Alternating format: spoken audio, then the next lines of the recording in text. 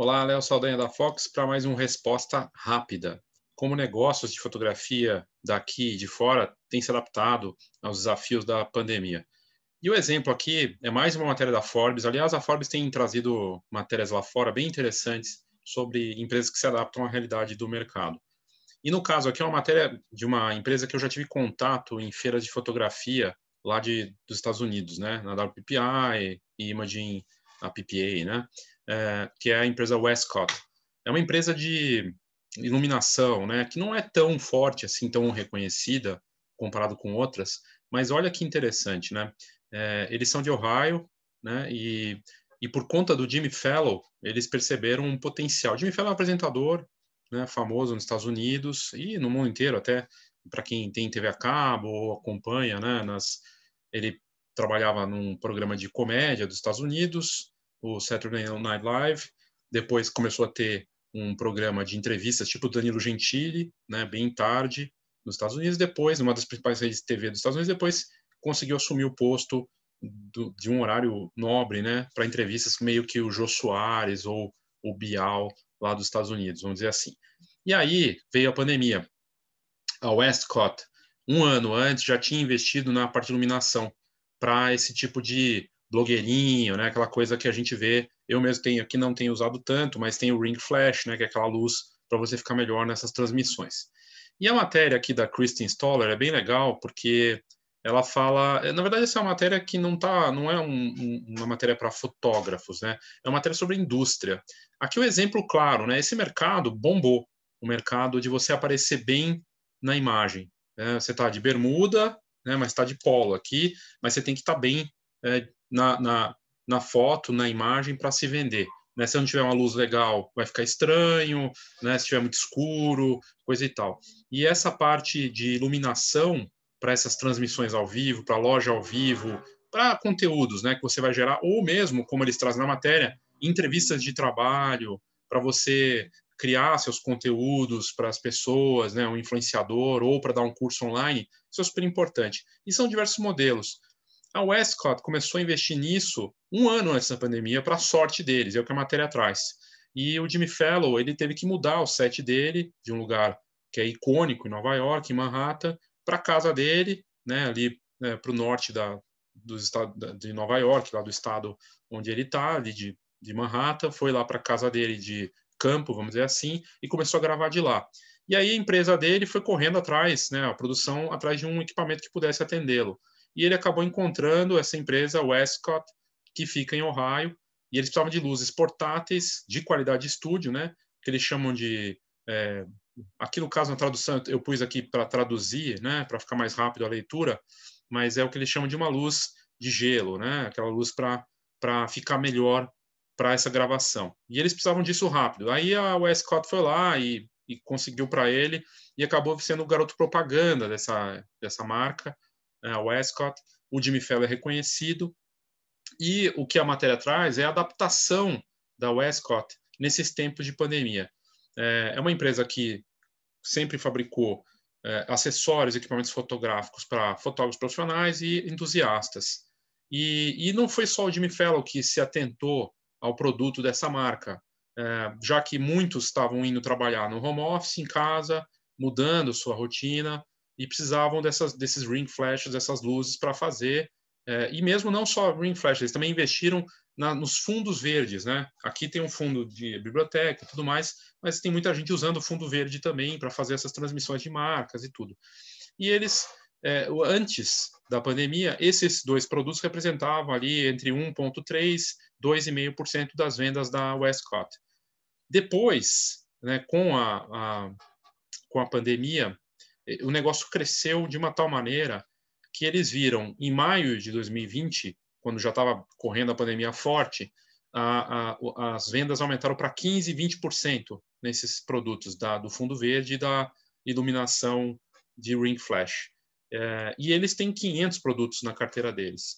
O que foi interessante foi que o dono percebeu que ele ia ter um, uma demanda muito maior para o produto durante o ano, até o final do ano. E ele ligou para a fábrica e falou: para de produzir todo o resto que não está dando, não vai ter saída, e bora focar no, na iluminação e no fundo verde, qualquer coisa que possa ajudar as pessoas a aparecerem melhor nas transmissões ao vivo, para entrevista, para o que quer que seja. Uma decisão acertada, né? É, e aí eles, ele falou foco total em, em tela verde, né, fundo verde, luz e, e esse ring flash, que é o nosso foco para o futuro previsível. Achei muito interessante isso, o futuro previsível, porque não dá para saber o que vai acontecer, mas está todo mundo, os principais sites de negócio, tecnologia, falando que a única certeza daqui até o final do ano é que o online vai continuar crescendo. Mesmo pós-pandemia, quando as coisas se assentarem, isso vai ficar.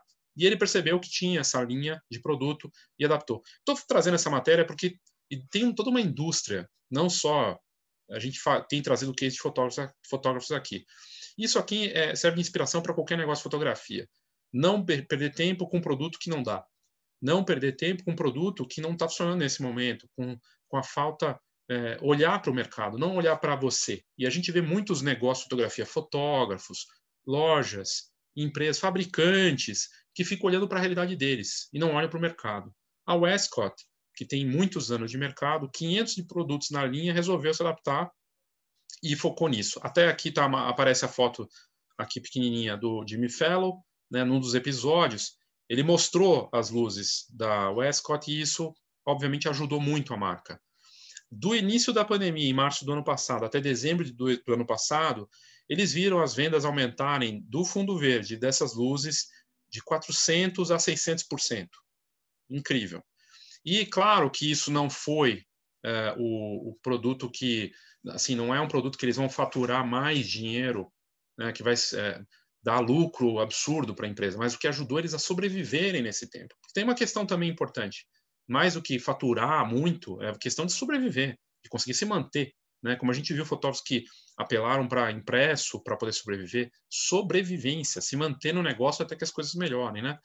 E é uma empresa que começou em 1899, não é uma empresa de ontem, é uma empresa com muita história, fundada pelo CH Haas, e que fez a mudança. Começou com uma empresa de guarda-chuva de moda para guarda-chuva de golfe, né, também para jogar golfe, em 1940, até que em 1960 o neto do Haas, o Tom Waltz, começou a trabalhar na empresa e decidiu começar a fazer as sombrinhas fotográficas e os equipamentos de iluminação para uh, eh, fotografia.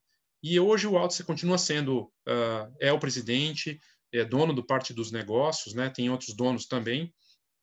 E ele diz que a Westcott começou a desenvolver seu produto de luz, desse Ring Flash, um ano antes da pandemia, e foi um representante de vendas que notou uma tendência de mais pessoas trabalhando em casa mesmo antes da pandemia.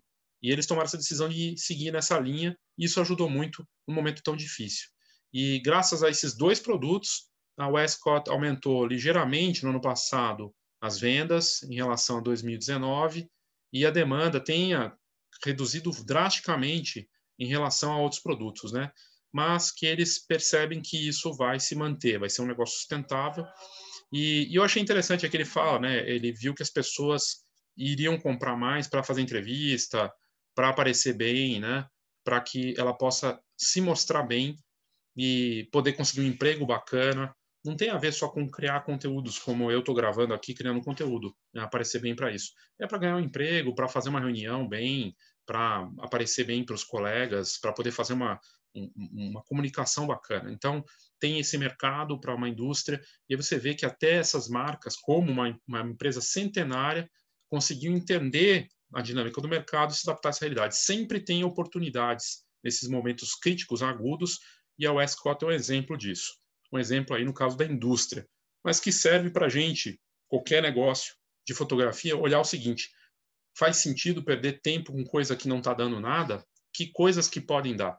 Qual que é a nova dinâmica do mercado, das pessoas, do consumo das pessoas? Até aquelas que eu atendia. Talvez tenha uma oportunidade de negócio com aquelas pessoas. E tem o quesito sorte também, porque, vamos dizer, né, convenhamos aqui, uma celebridade como Jimmy Fallon ter descoberto eles e começou e fez a divulgação ali de graça para eles, mas isso ajudou consideravelmente também quem trabalha, quem busca as alternativas costuma ter sorte né, no final das contas.